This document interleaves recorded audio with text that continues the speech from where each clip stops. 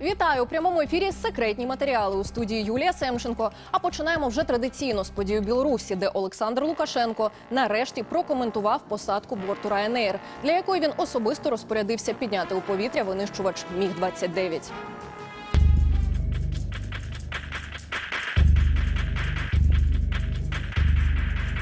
А вообще, как мы должны были поступить? Олександр Лукашенко вперше прокоментував екстрену посадку міжнародного цивільного борту компанії Ryanair.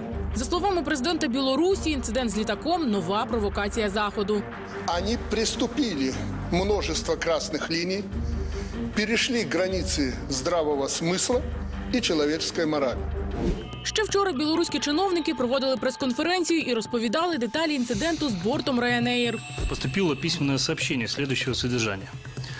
Мы, солдаты Хамас, требуем, чтобы Израиль прекратил огонь в секторе Газа. Мы требуем, чтобы Европейский Союз отказался от подде- поддержки Израиля в этой войне.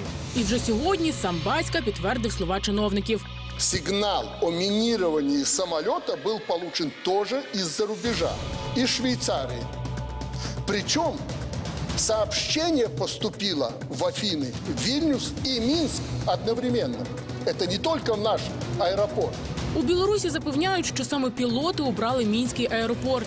Экипаж мог воспользоваться а, возможностью и принять решение вернуться во Львов, в Киев, сесть в Варшаве, продолжить полет до а, Вильнюса. Тому про ніякий примусовий розворот чи посадку не йде мови. Мовляв, військові літаки піднялися у небо, коли борт Ryanair підлітав до Мінська. В каждом случае мы реагировали адекватно полученной информацией. Інформацію про погрози винищувача збити цивільний літак Лукашенко називає абсолютною брехнею. А рішення затриматися після перевірки борту на наявність вибухівки на цілих 4 години приймав сам екіпаж літака.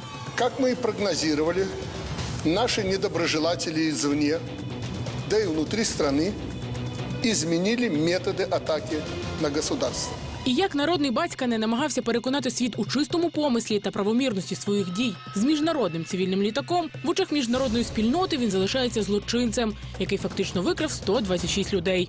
Що ж до затриманого опозиційного журналіста, то Лукашенко пообіцяв зовсім скоро оприлюднити покази проти Романа Протасевича. Один известный экстремистский канал, который родился на белорусской проблематике, но не на нашей земле, уже вовсю работает против России, показав тем самым истинную цель западных стратегов.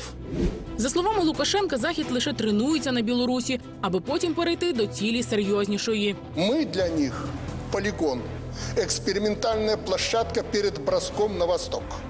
Так батька ненароком попередив свого найближчого сусіда Путіна бути уважнішим до подій у Білорусі. З 25 січня відтепер тільки на 2 плюс 2. Найрезонансніші події світу в усіх подробицях. Знаємо більше, розповідаємо чесно, не приховуємо нічого.